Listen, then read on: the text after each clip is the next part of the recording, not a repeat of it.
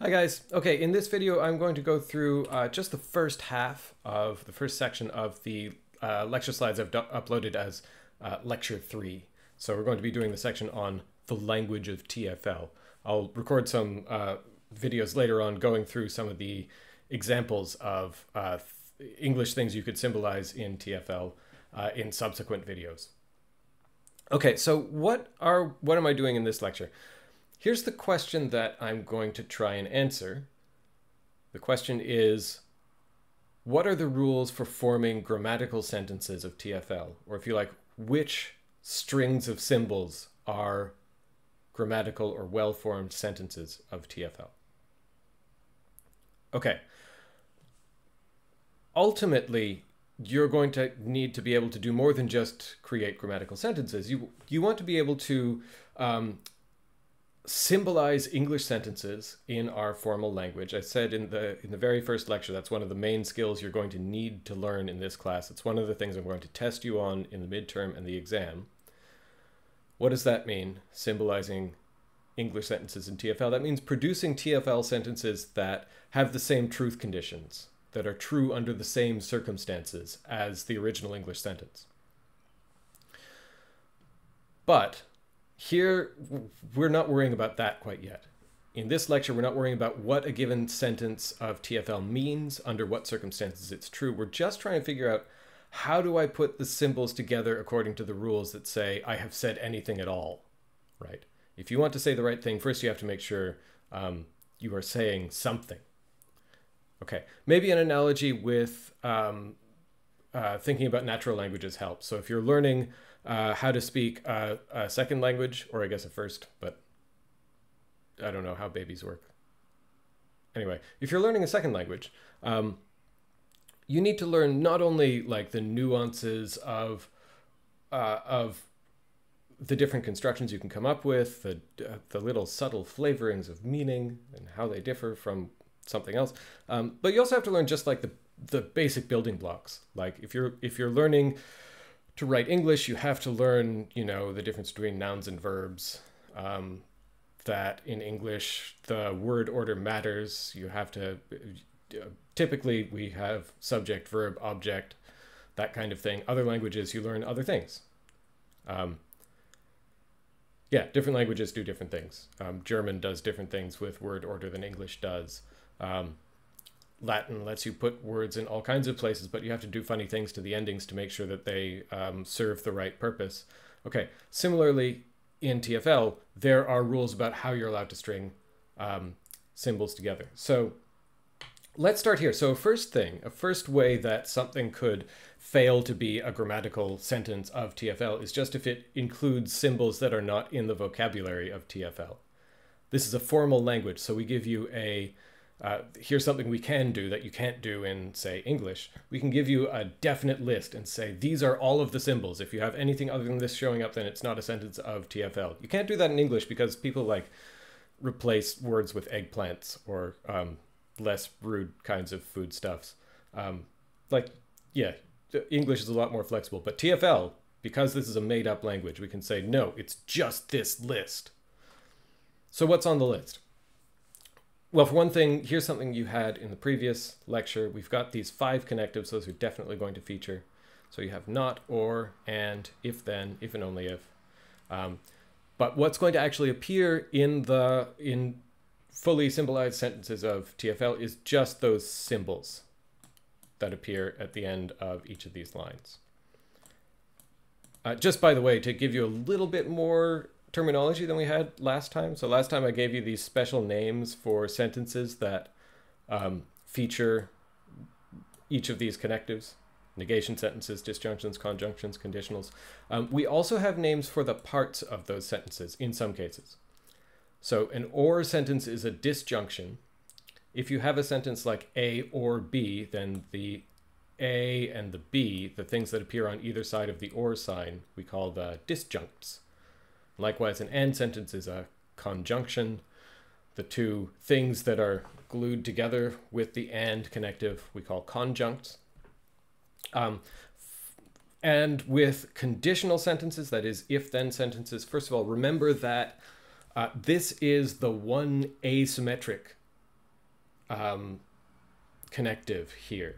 All the other ones, so like A or B, uh, says the same thing as B or A. But if A then B says something different from if B then A. One of those could be true while the other one is false. So for that reason, it matters which one is at the tail, if you like, of the arrow and which one's at the head of the arrow. And we have different names for those two things. So if you have something like if A then B, then A is the antecedent and B is the consequent. Okay, those things are, those words are worth memorizing, um, particularly antecedent and consequent, uh, because even outside of logic, those are very standard in uh, and commonly used in at least Anglophone philosophy. You will often see regular old philosophers, um, even ones who think they are not doing logic at all, um, use terms like antecedent and consequent. Okay, so that's the first thing. We've got those five connectives. Let me give you that complete list of symbols in our language. So here are all of them. First of all, uh, so we had the connectives. I, I, mentioned that last time when I was telling you, like, there are two main things to get your head around in uh, the language of TFL. The two things were connectives and atomic sentences. So let's start there. Here's how we symbolize atomic sentences in TFL. We have capital letters. Okay, let me say a little bit about that. Um, so why do we just have big letters instead of like writing out the sentences? Like English sentences, say maybe in brackets to show this is a complete unit and shouldn't be split up. Um, remember that our language, when we're thinking about validity, we care about the form of an argument rather than its content. The particular atomic sentences that an argument involves uh, probably have to do with its content rather than its form. So remember those arguments like if Socrates was a philosopher, then he wasn't a historian. We'd rather write that as if A then B rather than if philosopher then historian because the important thing for the logical form here is well the special logical words like if then those we're going to represent with connectives and the patterns of repetition of the atomic sentences. So what matters isn't that this is an argument about philosophers and historians, but that, well, you've got a sentence about Socrates being a philosopher that appears as the antecedent of a conditional premise, and then that appears again as, I don't know, a premise or a conclusion, depending on where you're looking at it. So our way of keeping track of that is we just take out all the content all that stuff about philosophers, about historians, take it all out and just replace it with something that doesn't carry any content, but still tracks the pattern of repetition. So if I have if A then B as my premise, and I want to show that that the antecedent of that conditional premise shows up somewhere else, then I use an A again. Um, maybe you're the kind of person who worries, but we might run out of letters. What if I have an argument that has more than 26 things repeating? um, the designers of this language thought of that. And we say, if you somehow run out of letters, um, you can start putting numerical subscripts on them. So A1, B1, A297, um, or some even larger number. Those are all allowed. And those count as different atomic sentences. Okay. One thing I want to mention quickly, your textbook will talk about this. The, the, what do you call it? Typeface, not the font, but the typeface that I use for these things matters. So when I write a capital italic Roman letter here, italic Roman, italic, it's just italic. It's not another thing as well. Then this is a name for a specific atomic sentence. We'll talk about how you figure out which one it stands for later, but this stands for one particular sentence. The textbook and my slides in a moment will sometimes use, instead of a regular italic typeface, they'll use like a scripty typeface. When we're using a scripty typeface, that's supposed to be like a blank that can be filled by any grammatical sentence. Okay, if it's just italic, it must be atomic. So something like what I've written on this line, those are definitely atomic sentences. We will sometimes see scripty capital letters A or capital letter B, um, and that can that's supposed to be a placeholder that can be replaced with anything something that might even not be atomic. It has to be a sentence, but it might be complex. Wow, I'm going through this slowly. Okay, let's let's move on. So we have atomic sentence letters. Uh, we have brackets or parentheses, if you want to call them that. Um, there is no difference in meaning between round brackets and square brackets. It's just sometimes if you have a, a, whole lot of brackets in a sentence, it can be easier to see which ones pair with which if you make some of them round and some of them square. So, uh, and then we have our five connectives. And that's it. That's it. Those are all the symbols. If you have anything other than these symbols in um, and what if you're trying to write a sentence of TFL and you have any symbol that is not among the ones I've listed here, you have failed. It will not be a grammatical sentence. Oh, a little bit of terminology. Um, I'll sometimes say woof. Wait, that sounds funny. Sometimes instead of sentence, I will write WFF, which is pronounced woof. Um, that's short for well-formed formula. Um, is there a difference between well-formed formulas and sentences? In TFL, no. Elsewhere, ah, probably not. Why am I using this term instead of sentence? Because um, it's what I grew up with, and because it's uh, quicker to write down on an exam if I want to say not a woof. That takes makes my hand cramp less than writing not a sentence. Um, the textbook doesn't use the current edition of the textbook doesn't use that term, but yeah, well-formed formula, well-formed sentence. It just means like formed according to the rules of the grammar. Okay, so here I'm going to give you your uh, rules, the grammar. We just had the vocabulary. Here are the allowable symbols. Now I'm going to tell you here are the rules for putting those symbols together in a way that uh, produces grammatical sentences, things that actually say something. Once you figure out how to say something in TFL, then you can figure out how to say the thing you want to say. So I'm going to give you a bunch of explicit rules.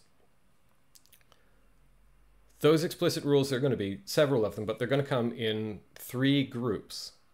So here's group one. Here's a rule that just says, here's a list of some things that are grammatical sentences all by themselves. So any atomic sentence is a well-formed formula. Any atomic sentence is a woof.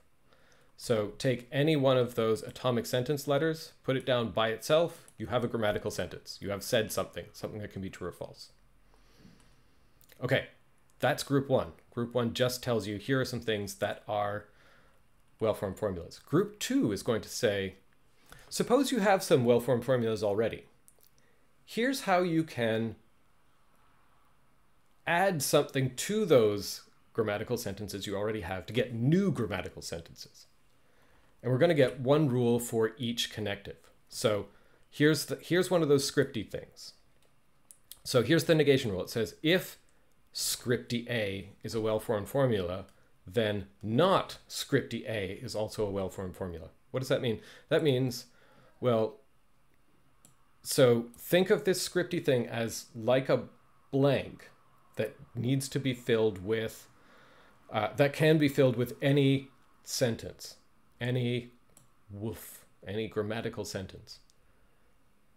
This scripty A is also a blank that can be filled with any grammatical sentence, but it has to be the same as the one before. That's why it's the same letter.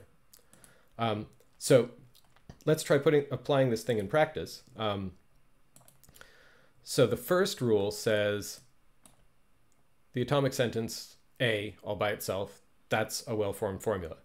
So now I can plug this sentence, you know what, actually let me use a different letter just so that the difference between the scripty A in the negation rule and the uh, atomic sentence letter is clear. So take another letter. Here's a very fine letter, R. That stands for an atomic sentence.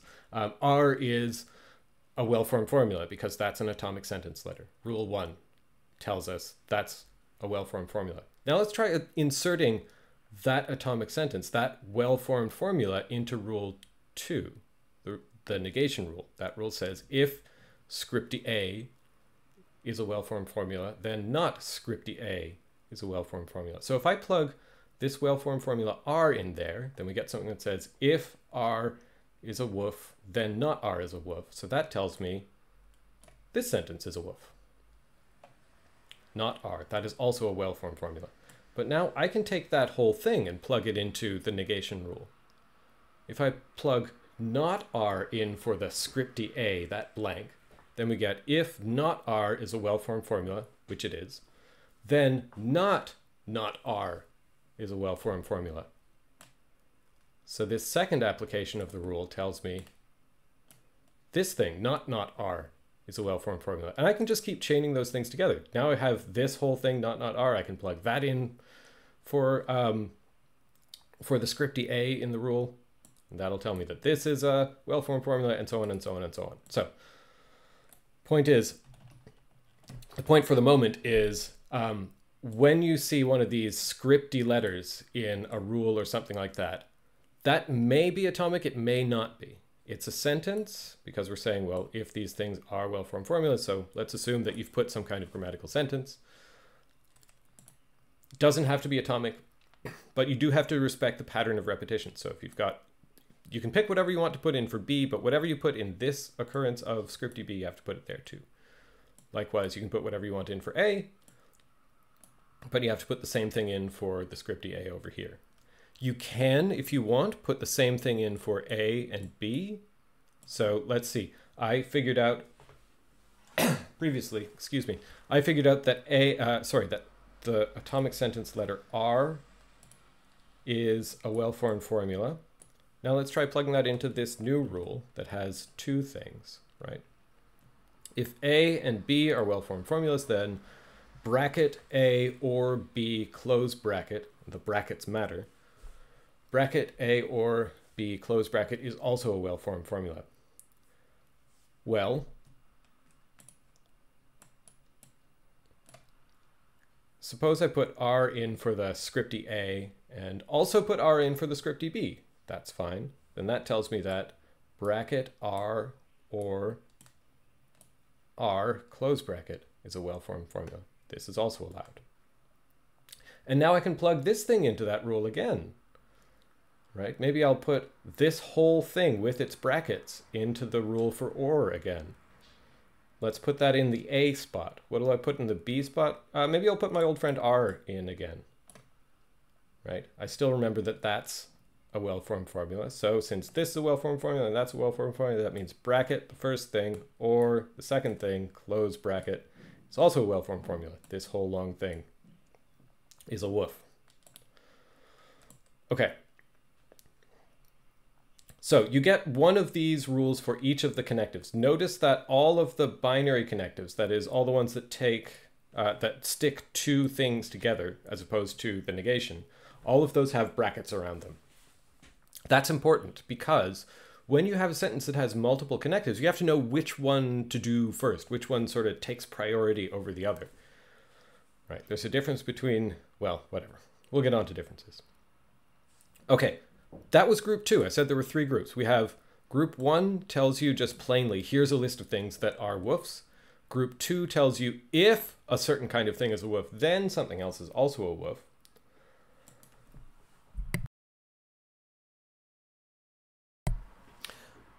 Those two things together um, are going to cover all of the things that are grammatical, that are well-formed formulas. But those two groups of rules don't tell you that something isn't a well-formed formula. Notice that I told you that uh, if you write down something that doesn't that includes a, a symbol not on our official list, then it's not a well-formed formula. If you just had these two groups of rules, you wouldn't find that out. We know that a certain number of things are woofs, but there's nothing here saying that anything is not a well-formed formula. So that's group three. Group three says that's it.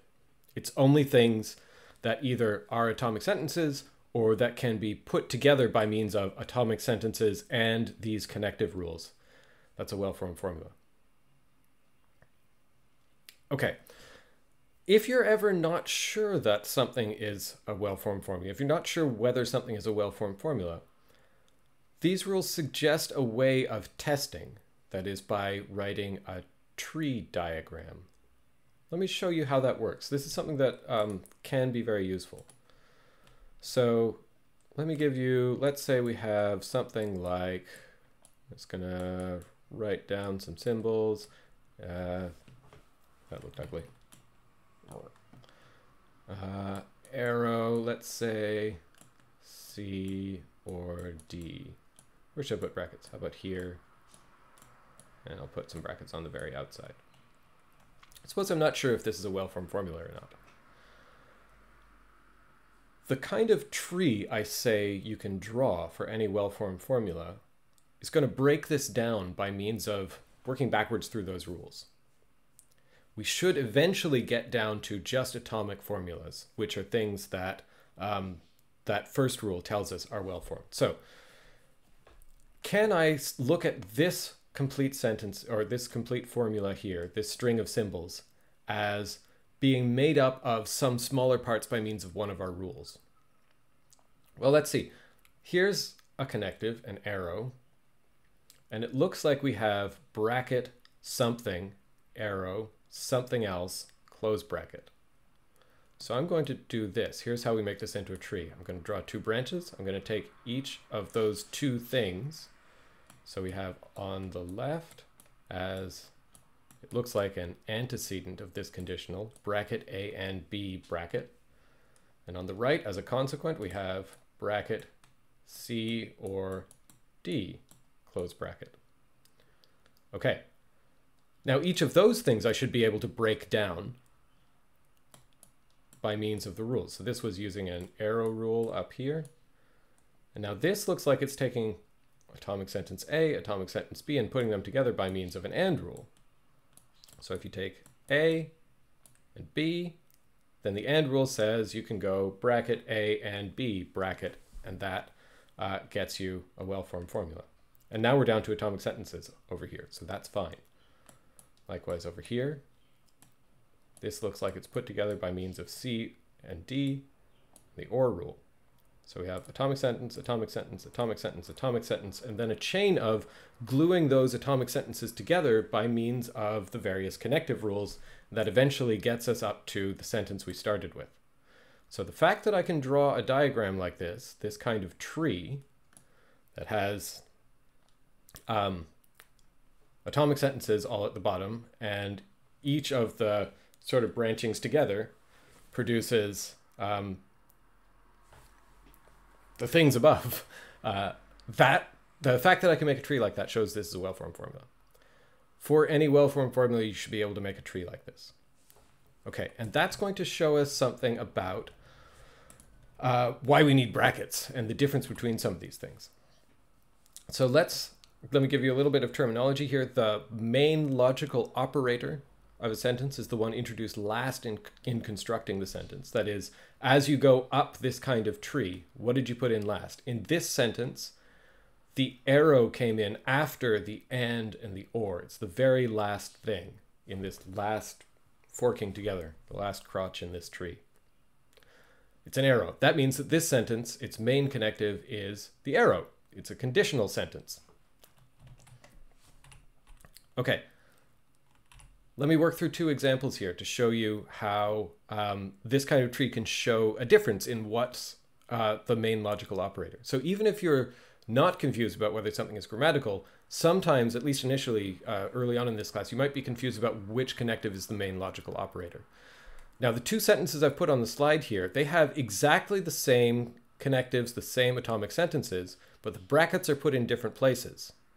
And those different placements of the brackets make a difference to what's the main logical operator. So let me write this out. Let me erase these things.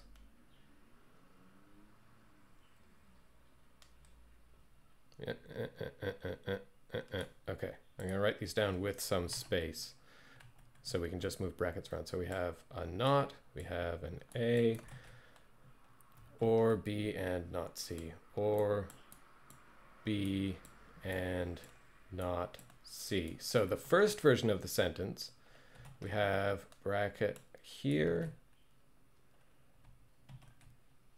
here, close, close. Okay, now, if I try and draw a tree for this, if I look at this thing and try to think, how can I break this down into uh, parts that could have been joined together by means of one of our rules? There's only one option. So all of those uh, all of those rules, all of your grammatical rules, let me actually bring those back up so you can look at them. All of them are either the negation rule, in which case you have negation something, so the negation should be all the way to the left, or they have one of the binary connectives and they have brackets around two things. So in this case, the negation is not all the way to the left. There's a bracket outside it, so I can't get this string of symbols by means of the negation rule. On the other hand, if I'm doing one of the um, binary connectives, then we have bracket something binary connective something else. Well, that's not a binary connective. That's not a binary connective. Hey, here's a binary connective. So if I'm doing bracket uh, something connective something else close bracket, the only option for the thing, the first thing that I'm joining together is not A. The only option for the second thing is bracket B and not C close bracket. So in that case, I've got left bracket something connective something else close bracket. So that shows I'm joining these two things together by means of the OR. Okay, I can break these things down further. This looks like it's B and not C joined together by an AND rule. This is not atomic, but it looks like it's produced from A by means of a negation rule, and that is atomic. This is atomic. That comes from C by a negation rule, and now that's atomic. So now I have a complete tree. So I'm sure that this is a well-formed formula, and now that the tree is complete, I can say the main logical operator is that OR. Okay, let's back up. I think I can just hit undo a bunch of times. That's probably more useful than other things. Let's do the other version of the sentence. So the one we just did was with the brackets here.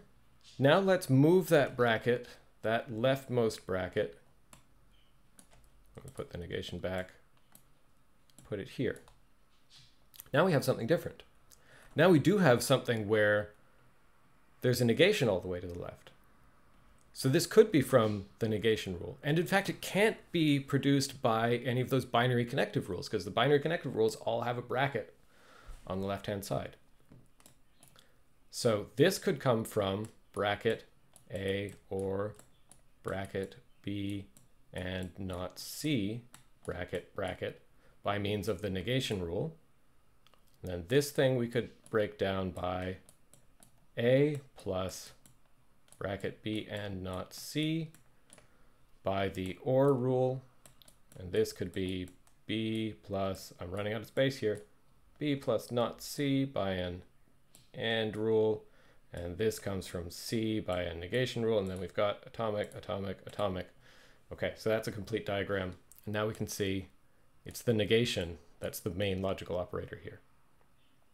So we had a difference in main logical operators. This is a sentence that says that thing in the brackets here is false. That's what the negation does. It says whatever is in here is not true. Whereas the other sentence, let me just come over here. This sentence says, well, it's an or sentence. So it says either this thing is true or this thing is true. I don't know which. In fact, as we'll see, maybe it's both, but at least one of those two things is true. I don't know which. This one says something different. It says whatever's in the brackets is not true. Okay, we will continue to work on what the differences between those things are. Um, there's a bit of terminology. I'm not going to go over it. We might use it at some point. Okay, that's it for now. Those are all the rules for telling whether and when something is um, a well-formed formula, how to tell what its main logical operator is. Maybe you'll feel like these, uh, the trees I'm doing here to test the structure of uh, a sentence, maybe that'll feel like overkill for some of you. Next week, when we learn rules for determining when a sentence of TFL is true or false, these might become helpful again. We will wind up using them. Um, if we could all be together in person, I would have you play a board game. I'm going to have to figure out how to make that work. Yeah, okay, that's it for now.